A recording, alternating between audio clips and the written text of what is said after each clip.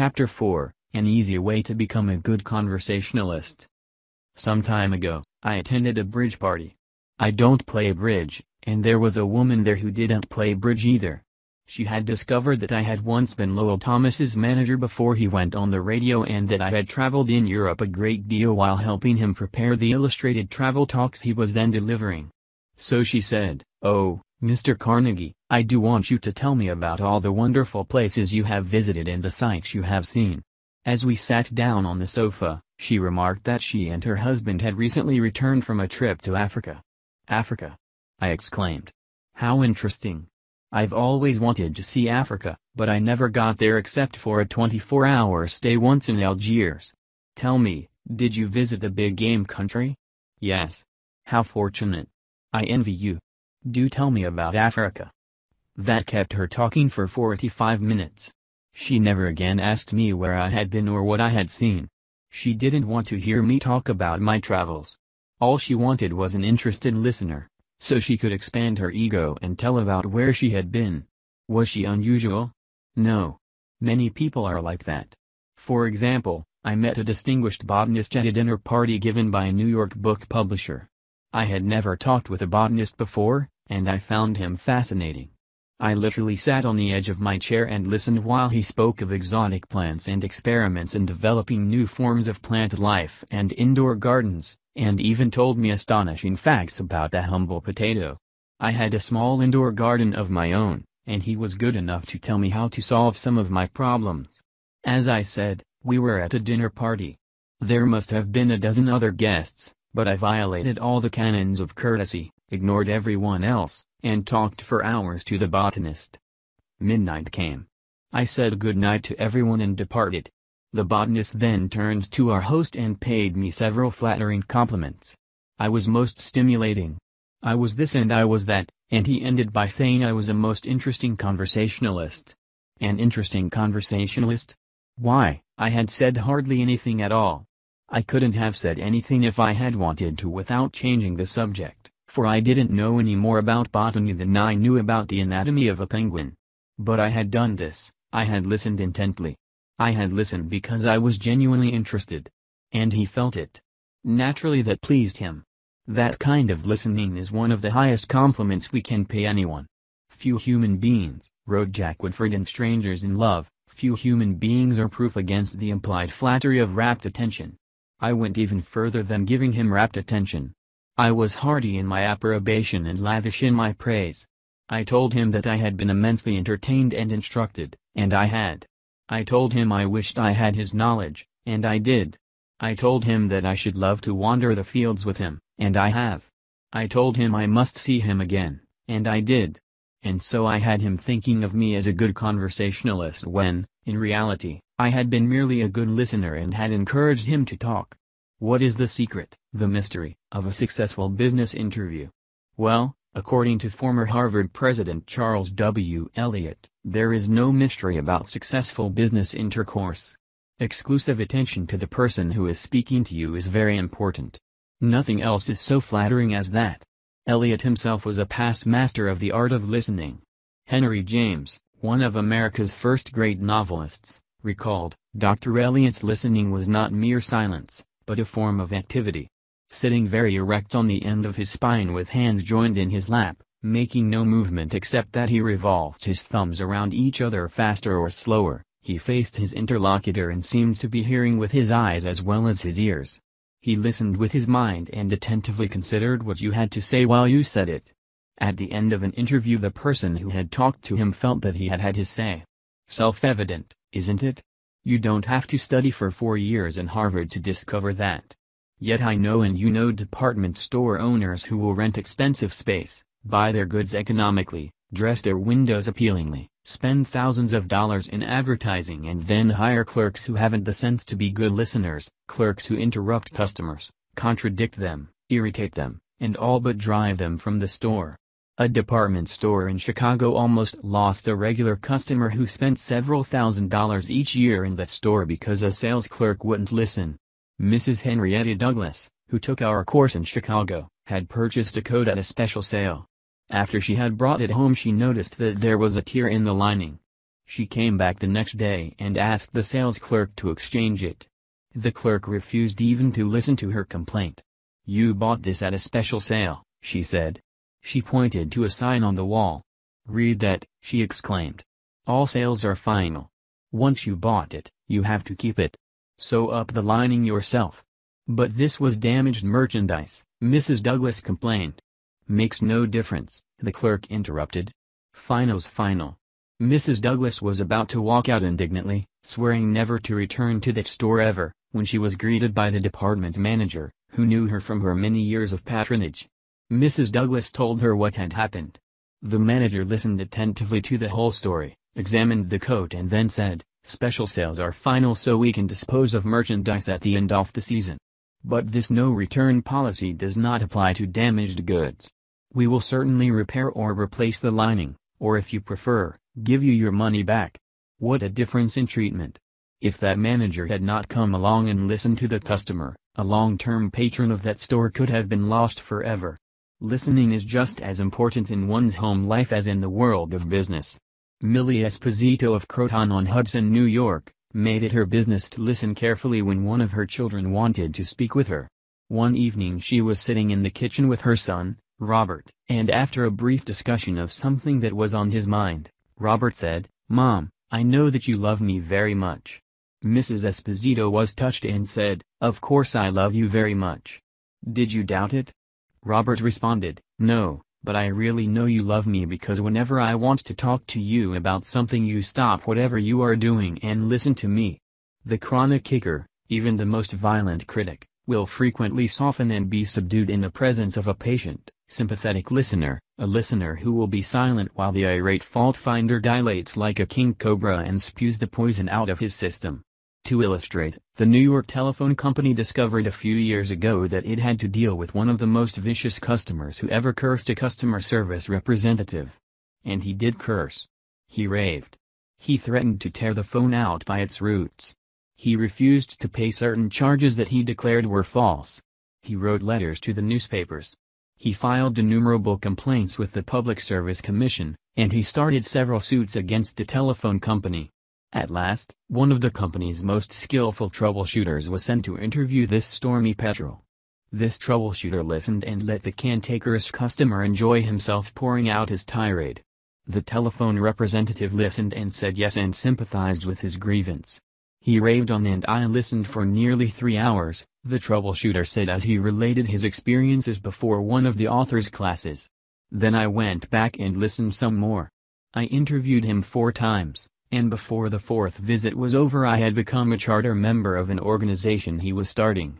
He called it the Telephone Subscribers Protective Association. I am still a member of this organization, and, so far as I know, I'm the only member in the world today besides Mr. I listened and sympathized with him on every point that he had made during these interviews. He had never had a telephone representative talk with him that way before, and he became almost friendly. The point on which I went to see him was not even mentioned on the first visit, nor was it mentioned on the second or third, but upon the fourth interview, I closed the case completely, he paid all his bills in full, and for the first time in the history of his difficulties with the telephone company he voluntarily withdrew his complaints from the Public Service Commission. Doubtless Mr. had considered himself a holy crusader, defending the public rights against callous exploitation. But in reality, what he had really wanted was a feeling of importance. He got this feeling of importance at first by kicking and complaining. But as soon as he got his feeling of importance from a representative of the company, his imagined grievances vanished into thin air. One morning years ago, an angry customer stormed into the office of Julian F. Detmer, founder of the Detmer Woolen Company, which later became the world's largest distributor of woolens to the tailoring trade. This man owed us a small sum of money, Mr. Detmer explained to me. The customer denied it, but we knew he was wrong. So our credit department had insisted that he pay. After getting a number of letters from our credit department, he packed his grip, made a trip to Chicago, and hurried into my office to inform me not only that he was not going to pay the bill, but that he was never going to buy another dollar's worth of goods from the Detmer Woolen Company. I listened patiently to all he had to say. I was tempted to interrupt, but I realized that would be bad policy. So I let him talk himself out. When he finally simmered down and got in a receptive mood, I said quietly, I want to thank you for coming to Chicago to tell me about this. You have done me a great favor, for if our credit department has annoyed you, it may annoy other good customers, and that would be just too bad. Believe me, I am far more eager to hear this than you are to tell it. That was the last thing in the world he expected me to say. I think he was a trifle disappointed, because he had come to Chicago to tell me a thing or two, but here I was thanking him instead of scrapping with him. I assured him we would wipe the charge off the books and forget it, because he was a very careful man with only one account to look after, while our clerks had to look after thousands. Therefore, he was less likely to be wrong than we were.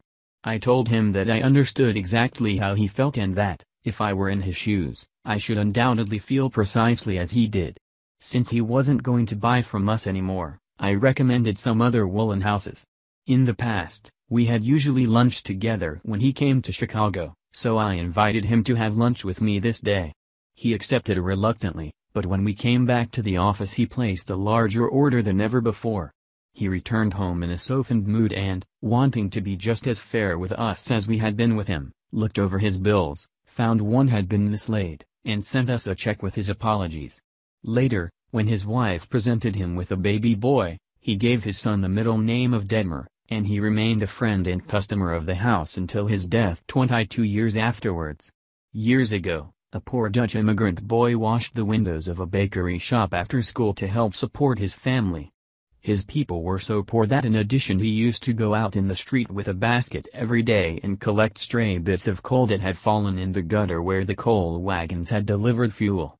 That boy, Edward Bok, never got more than six years of schooling in his life, yet eventually he made himself one of the most successful magazine editors in the history of American journalism. How did he do it? That is a long story, but how he got his start can be told briefly. He got his start by using the principles in this chapter. He left school when he was 13, and became an office boy for Western Union, but he didn't for one moment give up the idea of an education. Instead, he started to educate himself. He saved his car fares and went without lunch until he had enough money to buy an encyclopedia of American biography, and then he did an unheard of thing. He read the lives of famous people and wrote them asking for additional information about their childhoods. He was a good listener. He asked famous people to tell him more about themselves.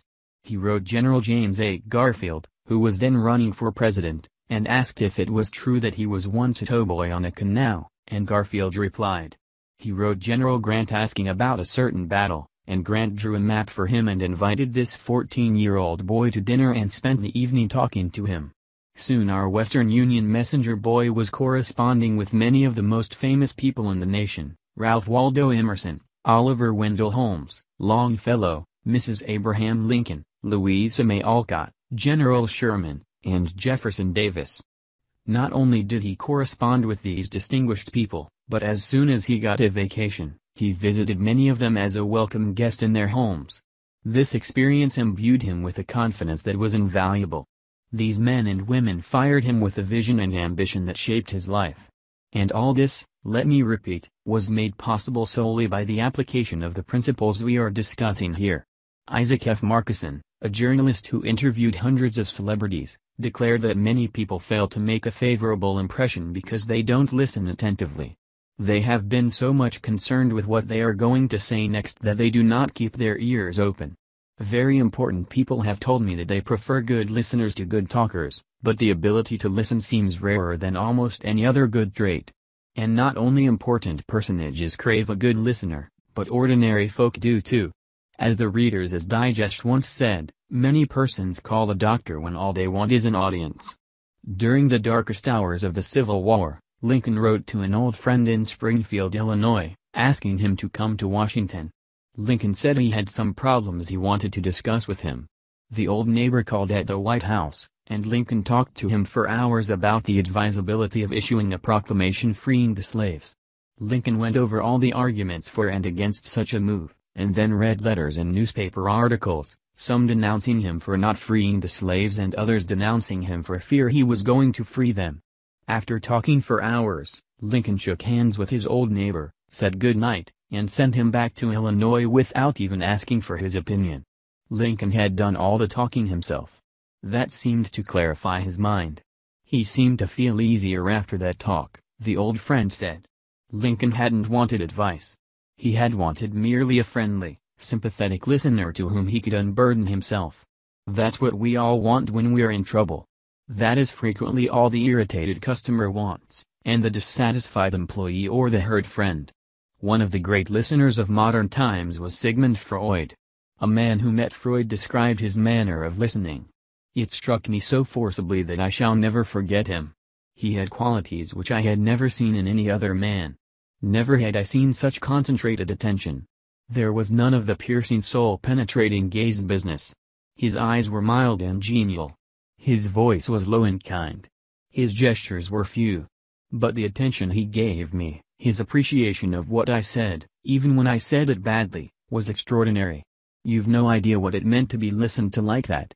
If you want to know how to make people shun you and laugh at you behind your back and even despise you, here's the recipe, never listen to anyone for long. Talk incessantly about yourself.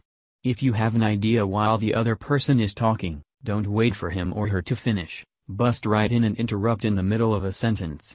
Do you know people like that? I do, unfortunately, and the astonishing part of it is that some of them are prominent. Bores, that is all they are. Bores intoxicated with their own egos, drunk with a sense of their own importance. People who talk only of themselves think only of themselves. And those people who think only of themselves, Dr. Nicholas Murray Butler, longtime president of Columbia University, said, are hopelessly uneducated. They are not educated, said Dr. Butler, no matter how instructed they may be.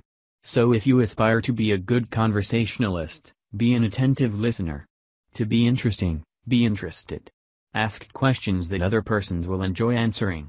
Encourage them to talk about themselves and their accomplishments. Remember that the people you are talking to are a hundred times more interested in themselves and their wants and problems than they are in you and your problems. A person's toothache means more to that person than a famine in China which kills a million people. A boil on one's neck interests one more than 40 earthquakes in Africa. Think of that the next time you start a conversation. Principle 4. Be a good listener. Encourage others to talk about themselves. themselves.